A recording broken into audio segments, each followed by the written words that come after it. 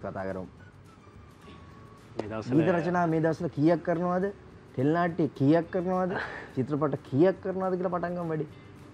ගීත රචනා ගැන කතා කරොත් අ, ඊයේත් එක ගීතයක් ඉවර කරා කුරුණෑගල දිස්ත්‍රික්කයේ අ, අලුත් ගායක දෙපලක් ආව මට දෙන්නගේ නම් නම් මතක නැහැ නමුත් අ, මාස 6ක් ඇතුළත 7 මිලියන් පැන අපි YouTube එකත් එක්කනේ දැන් ඉන්නේ 100ට හිටියට ඉතින් 7 මිලියන් පැන්න ඒ දෙන්නට ඒ දෙන්න දෙවෙනි ගීතයත් අ, කඩිමුඩිය ලෑස්ති කරගත්ත ප්‍රොමෝෂන් ගහන්න නැතුව වැඩේ කරේ. හරි.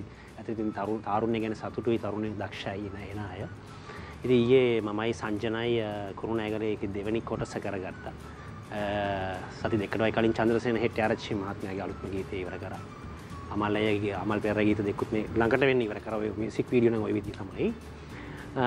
ටෙල්නට දෙකක් විකාශය වෙනම තව ටෙල්නට්ටි හතරක විදසල වැඩ කරගෙන යනවා. සහ චිත්‍රපට දෙකක් බලාපොරොත්තුවෙන් ඉන්න අප්‍රේල්වල දෙන්න නෑ වැඩ. චිත්‍රපට දෙක මොකක්ද අපි මේ චිත්‍රපට දෙක විශේෂයෙන් මතක් කරමු නේද? උදාර පල්ලිගුරු මහත්මයාගේ ජිගලෝ චිත්‍රපටය. නීට ෆ්‍රනාන්ඩ් මහත්මියත් එක තමයි ඔව් ජිගලෝට ඉන්නවද? ඕ ජිගලෝට.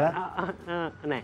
මමන මේ ඉන්නේ. නමුත් ජිගලෝ කියන නමේ තේරුමත් එක ඒ ඔව්. සියලු සම්පාධනයන් පිම්පියා ලෙස කොළඹ ඉඳගෙන කරන්න මම ඉඩස්සේ එකක්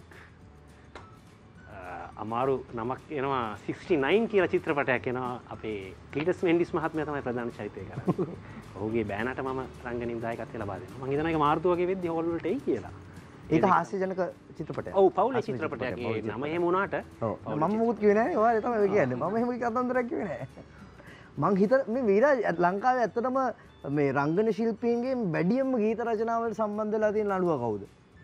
මම ඔය කටින්ම දැනගන්න තමයි මේක ඇහුවේ.